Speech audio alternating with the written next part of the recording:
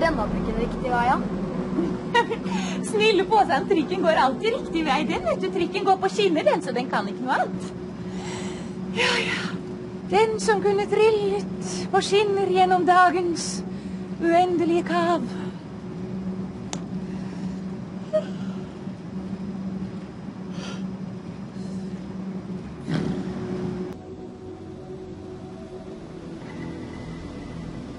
Nei, pokker, jeg sovna. Gule skilt. Nei, ta deg sammen da, Pål Erik. Hæ?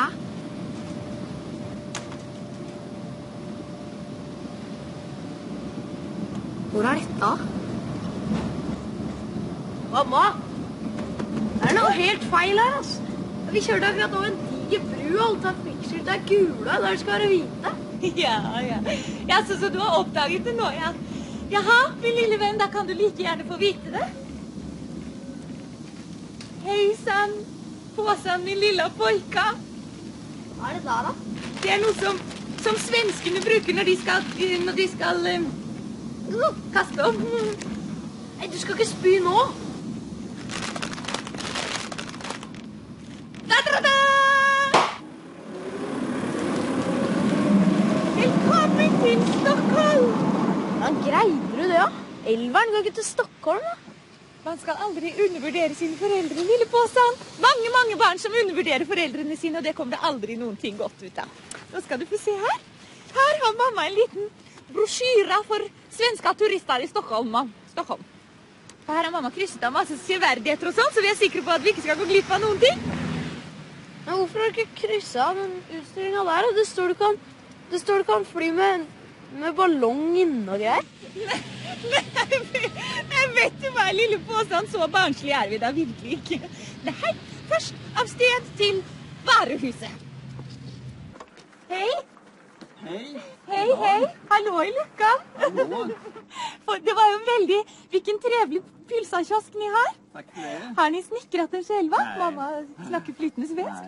Det har. Det ni ikke gjort, nei. Og Coca-Cola har ni. Tenk at Coca-Cola har kommit helt til Sverige. Det, er ganske pussig å tenke på. Ja, da skulle mamma gjerne bestille mamma. Det kaller jeg meg selv. Jeg heter noe annet. Da skulle vi få to pølser og en is. Nei, mamma, det er To Två pølser og en is. Isar. Två, två pølser og én is! Forstår de ikke deres eget språk, eller? Hør nå her, tanten. Altså, to korv og en glass. Åh, to korv og en glass. Hva? Glass? Skal ikke ha glass i posen?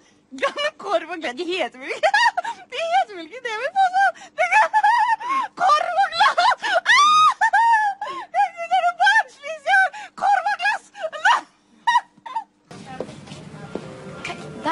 Dataspill. Jeg må prøve litt, da.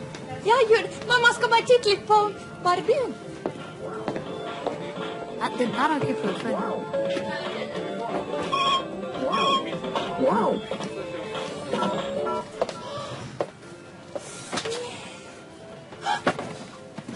Å, Barbie-badekar. Neimen, se på henne. Ta den. Den. Ha, der tok jeg den. Ursäkta meg, luk luktasåper, har dere det her? Jaha. Der, ja. Takk. Nei, de der var dølle. Nei, det gidder jeg ikke. Hvor har hun da?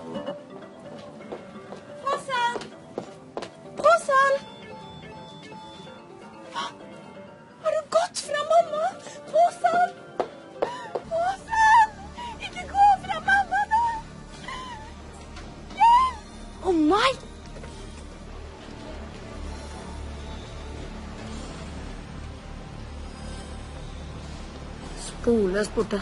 Typisk. Hvor kan han ha gått den nå? Ja, skal jeg begynne der, da. Her er jeg igjen, men ikke mora mi. Og det jeg skulle si ja, sa Det var ja, I Sverige er det mye Volvoer og mye jenter. Og alle sammen snakker svensk.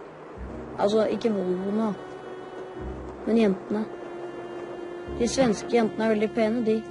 Men altfor jålete etter min smak. Men mora mi, hun er ikke god å finne. Hvor skulle hun kryssa så mange steder?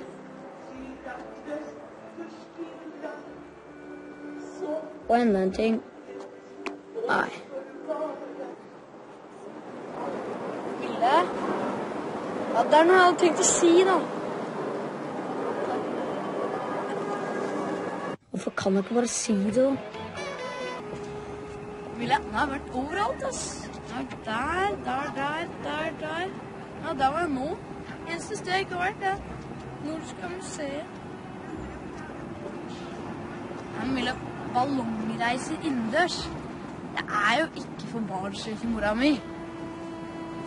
Nå står jeg utenfor Det nordiske museet, og akkurat nå så er det en utstilling her som heter Barnets århundre. Men er ikke, det han Påsan, da? Så dette må jeg undersøke, altså.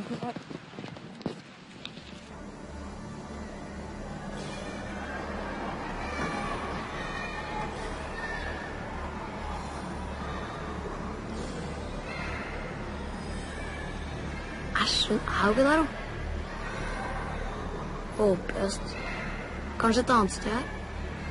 Hvordan skal jeg finne henne her, da? Hmm. Ja, ja. Kanskje jeg får et overblikk? Det går så fint, så. Det går så fint. Å, det går så Ingen panikk, ingen panikk, ingen panikk. Mamma? Og påsen! er mammas, mammas lille redningsmann. Hvis mamma hadde bare glemt at hun hadde bitt, bitt lite grann høydeskrekk. Ja, ballongen er nede nå. Nei, nei, sier det bare for å lure mamma. Nei da. Kom igjen.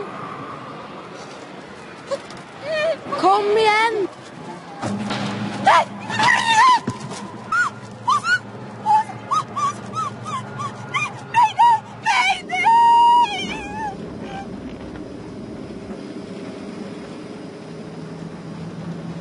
Mamma, trafikkskiltene er hvite igjen.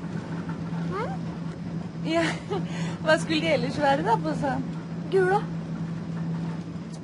Gule? Vet du hva, noen ganger Påsan så er du så Jeg vil ikke si barnslig kanskje, men du er bitte lite grann umoden. Litt bortreist, liksom.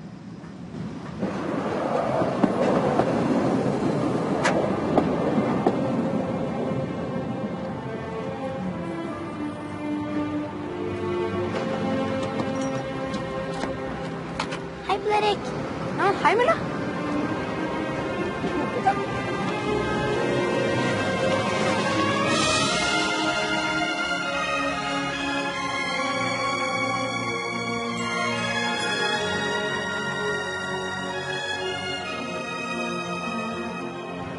Blir barnsligere her nå, så tror jeg nesten jeg må snufse litt.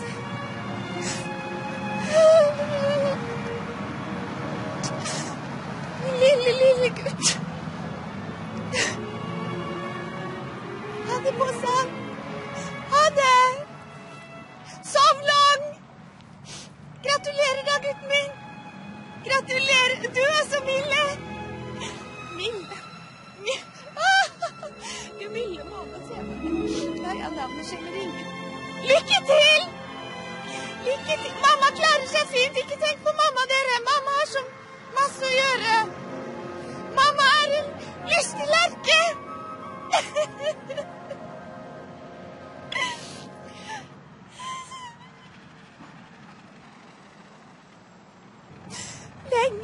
Shirley uh,